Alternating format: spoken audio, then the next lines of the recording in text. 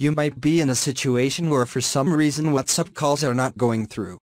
So basically there, you know, maybe people are calling you, but the calls aren't going through. And essentially what happens is the ring, like the call is just not ringing when you actually go and get a call. Now this can happen for a few different reasons, but the very first reason why this may end up happening is exactly this pop-up that comes up sometimes. So the first thing you're going to want to do is you want to hop inside of your settings application. So hop inside of settings just like so. What you're want to do is you want to scroll all the way down on your phone. So scroll all the way down until you see WhatsApp. So usually WhatsApp will be at the bottom, or you just want to get into your application panel here and you want to scroll down until you see WhatsApp. First of all, under notifications, we want to make sure notifications are enabled.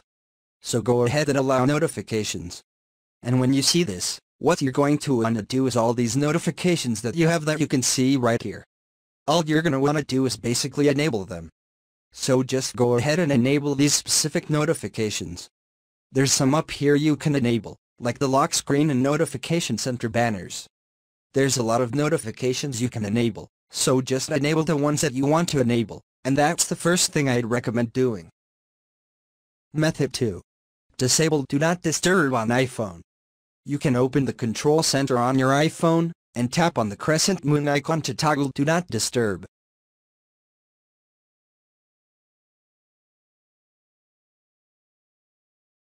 Method 3. Check network connectivity.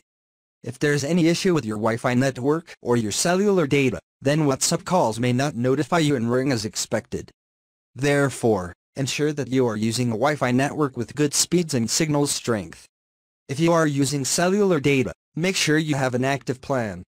You can contact your network service provider for further help on the same.